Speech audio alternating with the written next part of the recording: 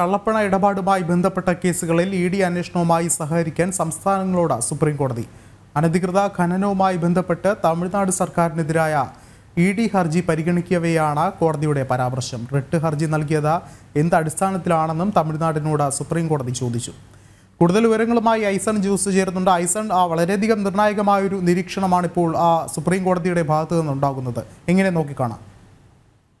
വിഷ്ണു തീർച്ചയായും ഏറെ ഗൗരവമർഹിക്കുന്ന ഒരു നിരീക്ഷണവും ഒരു കമന്റുമാണ് സുപ്രീം കോടതിയുടെ ഭാഗത്തു നിന്ന് ഉണ്ടായിരിക്കുന്നത് എന്ന കാര്യത്തിൽ തർക്കമില്ല. നമുക്കറിയാവുന്നതാണ് ഈ വാർത്തയുടെ അടിസ്ഥാനം തന്നെ ഇക്കഴിഞ്ഞ നവംബർ പതിനേഴിന് തിരുച്ചിറപ്പള്ളി കരൂർ തഞ്ചാവൂർ വെല്ലൂർ അതുപോലെ തന്നെ അലിയൂർ എന്നീ ജില്ലകളിലെ അരിയ അരിയല്ലൂർ എന്നീ ജില്ലകളിലെ ജില്ലാ കളക്ടർമാരോട് ഹാജരാവാൻ ആവശ്യപ്പെട്ട് നവംബർ പതിനേഴിന് എൻഫോഴ്സ്മെന്റ് ഡയറക്ടറേറ്റ് നോട്ടീസ് നൽകിയിരുന്നു നോട്ടീസ് നൽകിയിരുന്നു. അനധികൃത മരണഘടനവുമായി ബന്ധപ്പെട്ട ഒരു വിഷയത്തിലാണ് നോട്ടീസ് നൽകിയത്. ഈ നോട്ടീസിനെതിരെ തമിഴ്നാട് സർക്കാരും അതുപോലെ തന്നെ ഉദ്യോഗസ്ഥരും ചേർന്ന് മദ്രാസ് ഹൈക്കോടതിയെ സമീപിക്കുകയും റിട്ട് ഹർജിയുമായി സമീപിക്കുകയും ആ റിട്ട് ഹർജി അനുവദിച്ച് റിട്ട് ഹർജി അനുവദിക്കുക ഫയൽ സ്വീകരിച്ചതിന് ശേഷം സ്റ്റേ നൽകുകയും ചെയ്തു മദ്രാസ് ഹൈക്കോടതി. ഇത് സ്റ്റേ ചെയ്തതാണ് ഈ നിയമവിഷയങ്ങളായി വീണ്ടും ഉയർന്നു വന്നത്. ഈ സ്റ്റേക്കെതിരെ സുപ്രീം കോടതിയെ ഇ ഡി സമീപിക്കുകയായിരുന്നു. ഇ ഡി സുപ്രീം കോടതിയെ സമീപിച്ചപ്പോൾ ഇ ഡിയുടെ വാദം വളരെ കൃത്യമായ ഇ ഡിയുടെ വാദം ഇ ഡി മുന്നോട്ട് വയ്ക്കുകയും ചെയ്തു. ഈ ഇ ഡിയുടെ വാദം മുന്നോട്ട് വെച്ചതിന്റെ അടിസ്ഥാനത്തിലാണ് സുപ്രീം കോടതിയുടെ ഏറ്റവും നിർണായകമായ ഒരു പരാമർശം. അതായത് രാജ്യവ്യാപകമായി തന്നെ വൻതോതിൽ ഒരു വലിയ മാറ്റങ്ങളിലേക്ക് അല്ലെങ്കിൽ വലിയൊരു വലിയൊരു ഗൗരവതരമായ ഒരു ചർച്ചകളിലേക്ക് നീങ്ങാവുന്ന ഒരു നിഗമ നീക്കമാണ് സുപ്രീം കോടതിയുടെ ഭാഗത്തു നിന്ന് അല്ലെങ്കിൽ ഒരു കമന്റാണ് സുപ്രീം കോടതിയുടെ ഭാഗത്തു നിന്നുണ്ടായത്. അതായത് ഇത്തരത്തിലുള്ള മണി ലോണ്ടറിങ് അനധികൃത പണമിടപാട് അല്ലെങ്കിൽ ഈ നിയമവിരുദ്ധമായ കള്ളപ്പണ ഇടപാടുകളുടെ എല്ലാം കാര്യത്തിൽ സംസ്ഥാന സർക്കാരുകൾ എൻഫോഴ്സ്മെന്റ് ഡയറക്ടറുമായി ഡയറക്ടറേറ്റുമായി സഹകരിച്ച് പ്രവർത്തിക്കണം. കാരണം കേന്ദ്ര സർക്കാരിന്റെ ഒരു അന്വേഷണ സംവിധാനത്തോട് സഹകരിച്ച് പ്രവർത്തിക്കേണ്ടത് രാജ്യത്തെ സാമ്പത്തിക സുരക്ഷിതത്വം ഉറപ്പാക്കേണ്ടതിന് അനിവാര്യമാണ് എന്ന നിലപാട് തന്നെയാണ് ഇപ്പോൾ സുപ്രീം കോടതി വ്യക്തമാക്കിയിരിക്കുന്നത്. മാത്രമല്ല ഈ നിലപാട് വ്യക്തമാക്കുന്നതോടൊപ്പം തന്നെ സുപ്രീം കോടതി അതീവ ഗൗരവമായ മറ്റൊരു ചോദ്യം കൂടെ ചോദിക്കുകയുണ്ടായി. നമുക്കറിയാവുന്നതാണ് റിട്ട് പെറ്റീഷനുകൾ എന്ന് പറയുന്നത് ഭരണഘടനാ കോടതിക്കുള്ള പ്രത്യേക അധികാരങ്ങളാണ്. അഞ്ച് റിട്ട് പെറ്റീഷനുകളാണ് ഭരണഘടനാ പ്രകാരം കോടതിക്ക് സ്വീകരിക്കാനാവുക. ഏത് നിയമത്തിന്റെ അടിസ്ഥാനത്തിലാണ് ഇത്തരത്തിലൊരു റിട്ട് പെറ്റീഷനുമായി സംസ്ഥാന തമിഴ്നാട് സർക്കാരും അതുപോലെ തന്നെ ഈ ജില്ലാ കളക്ടർമാരും കോടതിയെ സമീപിച്ചത് എന്നുകൂടി വ്യക്തമാക്കണമെന്നാണ് പറയുന്നത്. അതിൽ നിന്ന് തന്നെ വളരെ കൃത്യമായി നമുക്ക് മനസ്സിലാക്കാൻ സാധിക്കും. ഇത് ഒരു നിയമമായ നിയമാനുസൃതമായ അല്ലെങ്കിൽ നാട്ടിലെ നിയമങ്ങളുടെ അടിസ്ഥാനത്തിൽ ചോദ്യം ചെയ്യപ്പെടാവുന്ന ഒരവസ്ഥയിലുള്ള വസ്തുതയല്ല എങ്കിൽ കൂടി എന്തടിസ്ഥാനത്തിൽ സ്റ്റേ നൽകിയെന്ന മറ്റൊരു ചോദ്യം കൂടി വരികയാണ് തീർച്ചയായും സുപ്രീം കോടതിയുടെ ഭാഗത്തു നിന്നും വളരെ കൃത്യമായ ഒരു ഇടപെടലുണ്ടായിരിക്കുന്നു കാരണം എൻഫോഴ്സ്മെന്റ് ഡയറക്ടറേറ്റിന്റെ വ്യാപകമായ പരിശോധന കള്ളപ്പണ ഇടപാടുകൾക്കും അഴിമതി പണത്തിന്റെ അഴിമതി പണം ശേഖരിച്ചതിലും അതുപോലെ തന്നെ നിരവധിയായ സാമ്പത്തിക തട്ടിപ്പുകൾക്കുമെതിരെ രാജ്യവ്യാപകമായി നടന്നുകൊണ്ടിരിക്കുമ്പോൾ സംസ്ഥാനങ്ങൾ സ്വാഭാവികമായും തങ്ങൾക്കെതിരായ കേസുകൾ വരുമ്പോൾ അല്ലെങ്കിൽ തങ്ങൾക്കെതിരായ കേസുകൾ ഉണ്ടായി തങ്ങൾ പ്രതിസ്ഥാനത്തെത്തുമ്പോൾ ഇത്തരത്തിൽ അത് തടസ്സപ്പെടുത്തുന്നതിന് വേണ്ടി സർക്കാരിന്റെ കോടതിയുടെ സംവിധാനങ്ങളെ കോടതിയുടെ വ്യവസ്ഥകളെ പ്രയോജനപ്പെടുത്തുന്ന ഒരു നീക്കം രാജ്യമാകമാനം കാണുന്നു. അത്തരത്തിൽ കാണുന്ന ഒരു സാഹചര്യത്തിൽ ഇത്തരത്തിലുള്ള സുപ്രീം കോടതിയുടെ ഒരു നിർദ്ദേശം വളരെ ഗൗരവമർഹിക്കുന്ന ഒരു വിഷയമാണ് എന്ന കാര്യത്തിൽ തർക്കമില്ല. മറ്റൊരു പ്രധാന വിഷയം കൂടി എടുത്തു പറയേണ്ടത് എൻഫോഴ്സ്മെന്റ് ഡയറക്ടറേറ്റിന് വേണ്ടി ഹാജരായ solicitor general additional solicitor general വളരെ കൃത്യമായി കോടതിയിൽ വ്യക്തമാക്കിയത് ഈ ജില്ലാ കളക്ടർമാരെ വിളിച്ചത് അക്യൂസ്ഡ് ആയിട്ട് അല്ലെങ്കിൽ കുറ്റാരോപിതരായിട്ടോ അല്ലെങ്കിൽ പ്രതികളുടെ സ്ഥാനത്ത് നിർത്തിയോ അല്ല സാക്ഷികളായിട്ടാണ് എന്ന് വളരെ കൃത്യമായി സുപ്രീം കോടതിയെ അറിയിക്കുകയും ചെയ്തിരിക്കുന്നു. സ്വാഭാവികമായും ഒരു കേസിൽ സാക്ഷിയായി അപ്പിയർ ചെയ്യുന്നതിന് അല്ലെങ്കിൽ സാക്ഷിയായി മാറുന്നതിന് ജില്ലാ കളക്ടർമാർക്ക് എന്ത് തടസ്സമാണുള്ളത് എന്ന വലിയൊരു ചോദ്യം കൂടി അതിന് പിന്നിൽ ഉയരുകയാണ്. സ്വാഭാവികമായും നമുക്കറിയാവുന്നതാണ് മണൽ ഖനനം ഉൾപ്പെടെ അല്ലെങ്കിൽ ഇത്തരത്തിലുള്ള പരിസ്ഥിതിക ആഘാതമുണ്ടാക്കുന്ന വിഷയങ്ങളിൽ വൻതോതിൽ അഴിമതിയും അതുപോലെ തന്നെ സ്വജനപക്ഷപാതവും എല്ലാം നടക്കുന്ന ഒരു സാഹചര്യമുണ്ട്. ഇത്തരമൊരു സാഹചര്യത്തിൽ ജില്ലാ കളക്ടർമാരുടെ ഇടപെടൽ സ്വാഭാവികമായും ഇത്തരത്തിലുള്ള ഖനനാനുമതിയിലെല്ലാം തന്നെ ഉണ്ടാകാറുണ്ട്.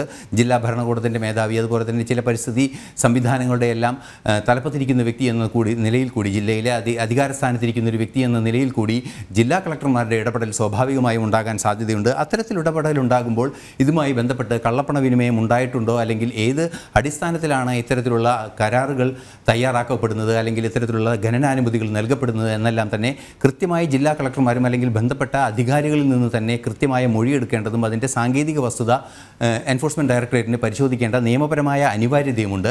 ഈ ഒരു പശ്ചാത്തലത്തിൽ കൂടിയാണ് കൃത്യമായ നിലപാട് സുപ്രീം കോടതിയുടെ ഭാഗത്തു നിന്നുണ്ടായിരിക്കുന്നത് ഇ ഡിയിൽ നിന്ന് വരുന്ന സമൻസുകൾക്കെതിരെ ഹൈക്കോടതിയെ ഏതെങ്കിലും റിട്ട് ഹർജിയുടെയോ അല്ലെങ്കിൽ ഏതെങ്കിലും ഹർജിയുടെയോ സാങ്കേതികത്വത്തിന്റെയോ പേരിൽ സമീപിക്കുന്നതിന് പകരം അത്തരത്തിലുള്ള അന്വേഷണങ്ങളുമായി സഹകരിക്കണമെന്ന കൃത്യമായ നിർദ്ദേശം തന്നെയാണ് രാജ്യമാകമാനമുള്ള ബ്യൂറോക്രാറ്റുകൾക്ക് നൽകിയ നിർദ്ദേശത്തിന് സമാനമായി ഈ നിർദ്ദേശത്തെ പരിഗണിക്കുകയും ചെയ്യാവുന്നതാണ്.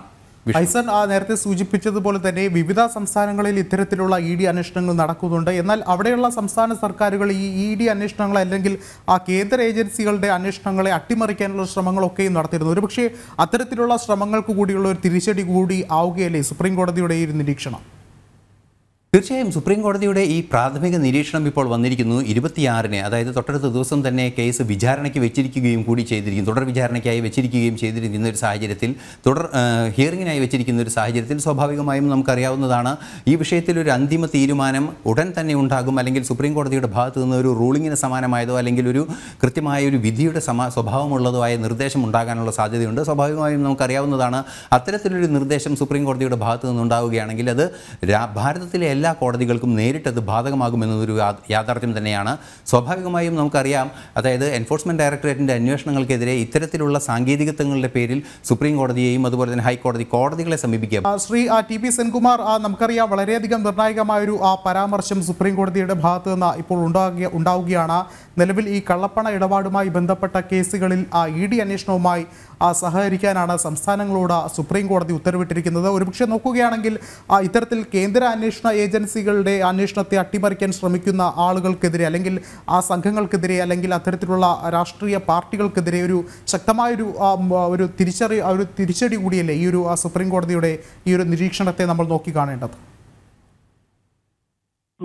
തീർച്ചയായിട്ടും അങ്ങനെ പറയാം. മാത്രമല്ല ഈ E D P M L A കേസുകൾ അന്വേഷിക്കുന്ന കാര്യത്തിൽ പലപ്പോഴും അതിനെ ബുദ്ധിമുട്ടുണ്ടാക്കാനായിട്ട് പല സ്റ്റേറ്റുകളും അത് രാഷ്ട്രീയത്തിന്റെ പരിചയെടുത്താണ് അത് പലപ്പോഴും രക്ഷപ്പെടാൻ ശ്രമിക്കുന്നത്. അപ്പൊ അങ്ങനെ രാഷ്ട്രീയത്തിന്റെ പരിചയെടുത്ത് പോകുന്ന സമയത്ത് ഇതിൽ കള്ളപ്പണം ഉണ്ടാക്കിയ പലരും ആ രാഷ്ട്രീയ പരിചയം വെച്ച് രക്ഷപ്പെടാനായിട്ട് ശ്രമിക്കുന്നതിന്റെയും അല്ലെങ്കിൽ അന്വേഷണം വളരെയധികം ദീർഘിപ്പിക്കുന്നതിന്റെയും ഒക്കെ സംഭവങ്ങൾ നടക്കാറുണ്ട്. അപ്പൊ അത് ഇല്ലാതിരിക്കാനായിട്ട് സംസ്ഥാനങ്ങൾക്ക് ഇനി ഹൈക്കോടതിയിലും സുപ്രീം കോടതിയിലും പോയിട്ട് സമയം കളയാതിരിക്കാനും അതുപോലെ ഇത്തരം സന്ദർഭങ്ങൾ വരുമ്പോൾ അതിൽ കൺസേൺഡ് ആയിട്ടുള്ള ആൾക്കാർ കേസുകളുമായിട്ട് സഹകരിച്ച് അതിൽ സത്യമുള്ളത് പുറത്തു വരാനുമായിട്ട് കൂടുതൽ സന്ദർഭങ്ങൾ ഉണ്ടാകും. എല്ലാ സ്റ്റേറ്റിനും അത് ബാധകമായതുകൊണ്ട് അത് പൊതുവെ വളരെ സ്വാഗതാർഹമായ കാര്യമാണ്. എ കേസുകൾ അധികം വൈകുന്നത് തടയാൻ അതായത് വളരെയധികം വർഷങ്ങൾ എടുക്കാറുണ്ട് പി എം എൽ എ കേസുകൾ ഇങ്ങനെ കൊണ്ടുപോകുന്നതിന്. അത് വളരെയധികം കുറച്ചു കൊണ്ടുവരാനായിട്ട് ഈ ഒരു ശക്തമായ നിർദ്ദേശം കൊണ്ട് സാധിക്കുമെന്ന് കരുതാം. സർ ഐസൺ ആണ് സംസാരിക്കുന്നത്. സാറിന് കേൾക്കാമോ ഞാൻ ചോദിക്കുന്നത്? കേൾക്കുന്നുണ്ട്. സാർ ഇപ്പോൾ നിലവിലെ വിവരങ്ങൾ അനുസരിച്ച് പി എം എൽ എ കേസുകളുടെ അന്വേഷണത്തിൽ സഹകരിക്കണം അത് സർക്കാർ ഉദ്യോഗസ്ഥർക്കാണ് നിർദ്ദേശം നൽകിയിരിക്കുന്നത്. താങ്കളും ഒരു സിവിൽ സർവീസസ് പോസ്റ്റിലുണ്ടായിരുന്ന ഒരു വ്യക്തി കൂടിയായിരുന്നു കൊണ്ട് ചോദിക്കുകയാണ്.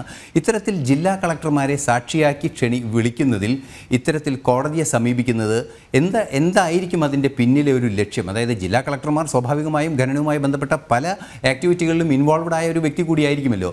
അത് എന്തൊരു താല്പര്യമായിരിക്കും ജില്ലാ കളക്ടർമാരെ ഇതിന് പ്രേരിപ്പിച്ചിരിക്കുക? ജില്ലാ കളക്ടർമാർക്ക് അവർക്ക് എനിക്ക് തോന്നുന്നത് സ്റ്റേറ്റ് ഗവൺമെന്റുകളുടെ നിർദ്ദേശം ഉണ്ടാകും. ഇത് ഇങ്ങനെ കോടതിയിൽ പോകാനായിട്ട് സ്റ്റേറ്റ് ഗവൺമെന്റുകളുടെ ഓറലായിട്ടുള്ള നിർദ്ദേശങ്ങൾ കാണും. അതുകൊണ്ടായിരിക്കും അവർ അതിന് പോകുന്നത്. സ്വാഭാവികമായും മറ്റൊരു പ്രശ്നം കൂടി ഉയർന്നിട്ടുണ്ട്. റിട്ട് ഹർജിയാണ് സമർപ്പിച്ചിരിക്കുന്നത്. എന്ത് അടിസ്ഥാനത്തിലാണ് ഈ റിട്ട് ഹർജി? ഏത് നിയമത്തിന്റെ അടിസ്ഥാനത്തിലാണ് ഈ റിട്ട് ഹർജി എന്നും സുപ്രീം കോടതി ചോദിക്കുന്നുണ്ട്. സ്വാഭാവികമായും നമുക്കറിയാവുന്നതാണ് മൗലികാവകാശങ്ങൾ ലംഘിക്കപ്പെടുമ്പോഴാണ് റിട്ട് ഹർജിയുമായി ഭരണഘടനാ കോടതിയെ സമീപിക്കുക എന്ന അടിസ്ഥാന പക്ഷേ ഏതടിസ്ഥാനത്തിൽ അടിസ്ഥാനത്തിൽ സമീപിച്ചു എന്ന ചോദ്യം വരുമ്പോൾ അതിലെ അതിന്റെ വിശാലമായ ഒരു അർത്ഥം എന്താണ്?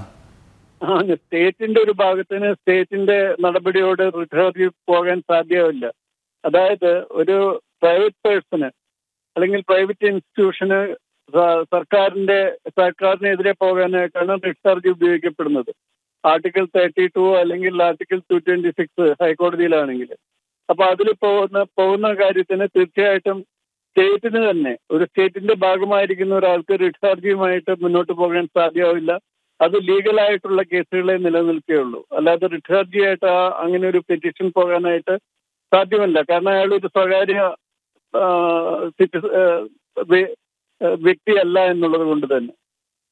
സ്വാഭാവികമായും മറ്റൊരു വിശാലമായ അർത്ഥത്തിലൊരു ചോദ്യം കൂടി പുറത്തു വരുന്നുണ്ട്. അതായത് ഈ മണി ലോണ്ടറിംഗ് കേസുകൾ അല്ലെങ്കിൽ ഈ കള്ളപ്പണ ഇടപാട് കേസുകൾ തീർച്ചയായും ബന്ധപ്പെട്ടിരിക്കുന്നത് കൈക്കൂലിയുമായി ബന്ധപ്പെട്ടാണ്. ഇത്തരത്തിലുള്ള ഒരു അഴിമതിയുമായി ബന്ധപ്പെട്ട വിഷയങ്ങളിൽ ഈ ഒരു നിലപാട് അല്ലെങ്കിൽ സുപ്രീം കോടതിയുടെ ഈ നിർദ്ദേശം എന്നൊക്കെ നമുക്ക് കണക്കാക്കാവുന്ന ഇരുപത്തിയാറിനാണ് ഇനിയും ഹിയറിംഗിന് വെച്ചിരിക്കുന്നത്.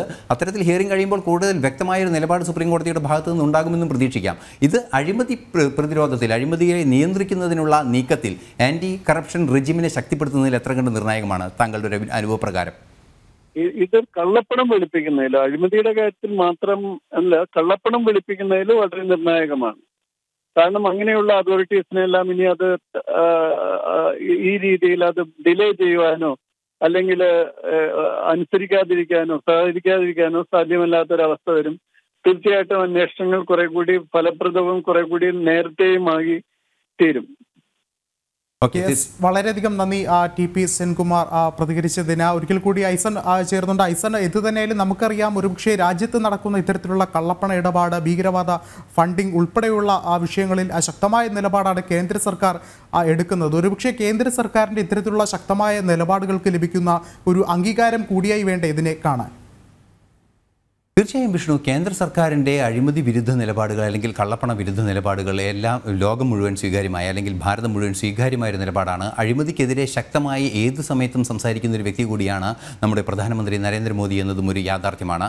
നമുക്കറിയാവുന്നതാണ് ഇത്തരത്തിലുള്ള കള്ളപ്പണ ഇടപാടുകൾ പല റൂട്ടുകളിലാണ് കള്ളപ്പണ ഇടപാടുകൾ ഈ സമൂഹത്തിലേക്ക് എത്തുക അല്ലെങ്കിൽ ഈ ഇക്കോണമിയിലേക്ക് സർക്കുലേറ്റ് ചെയ്യപ്പെടുക എന്നതാണ്. അത് അഴിമതി പണമായിട്ടായിരിക്കാം കൈക്കൂലി പണമായിട്ട് കൈക്കൂലിയായിട്ടായിരിക്കാം അതുപോലെ തന്നെ മയക്കുമരുന്ന് ഇടപാടുകളായിട്ടായിരിക്കാം ഹവാല ഇടപാടുകളായിട്ടായിരിക്കാം അതായത് നിയമവിരുദ്ധമായ പണസ്രോതസ്സുകളെ മുഴുവൻ തന്നെ കർശനമായി നിയന്ത്രിക്കാൻ സാധ്യമാകുന്ന ഒരു സംവിധാനമാണ് എൻഫോഴ്സ്മെന്റ് പോലുള്ള അന്വേഷണങ്ങൾ. അത്തരത്തിലുള്ള സാമ്പത്തിക കുറ്റാന്വേഷണത്തിന് ഒരു കേന്ദ്രീകൃതമായ അന്വേഷണവും അതിന് കൃത്യമായ നിയമ സംവിധാനങ്ങളും പിന്തുണകളും നൽകുന്ന സാഹചര്യത്തിൽ സ്വാഭാവികമായും രേഖകൾ പിടിച്ചെടുക്കുന്ന ഉൾപ്പെടെ അതിശക്തമായൊരു ശേഷിയുള്ള ഒരു സംവിധാനം കൂടിയാണ് എൻഫോഴ്സ്മെന്റ് ഡയറക്ടറേറ്റ്. സ്വാഭാവികമായും നമുക്കറിയാവുന്നതാണ് എൻഫോഴ്സ്മെന്റ് ഡയറക്ടറേറ്റിന്റെ ഇത്തരത്തിലുള്ള ഇടപെടലുകൾ ഉണ്ടാകുമ്പോൾ കള്ളപ്പണം ഇടപാടുകൾ മാത്രമല്ല അഴിമതിയും അതുപോലെ തന്നെ ഹവാല മയക്കുമരുന്ന് കടത്ത് അത്തരത്തിലുള്ള അതീവ ഗൗരവതരമായ കുറ്റകൃത്യങ്ങൾക്കും പൂട്ടുവീഴാനുള്ള സാഹചര്യം ഒരുക്കുമെന്നതും ഒരു വസ്തുതയാണ്. യെസ് വ്യക്തമാണ്. കള്ളപ്പണ ഇടപാടുമായി ബന്ധപ്പെട്ട കേസുകളിൽ ഇ ഡി അന്വേഷണവുമായി സഹകരിക്കാൻ സംസ്ഥാനങ്ങളോട് സുപ്രീം കോടതി ആവശ്യപ്പെട്ടിരിക്കുകയാണ്. അനധികൃത ഖനനവുമായി ബന്ധപ്പെട്ട് തമിഴ്നാട് സർക്കാരിനെതിരായ ഇ ഡി ഹർജി പരിഗണിക്കുന്ന സാഹചര്യത്തിലാണ് സുപ്രീം കോടതിയുടെ പരാമർശം ഉണ്ടാകുന്നത് ഐസൻ ജോസാണ് വിശദമായ റിപ്പോർട്ടുകൾ ന്യൂസ് ഡെസ്കിൽ നിന്നും പങ്കുവച്ചത്.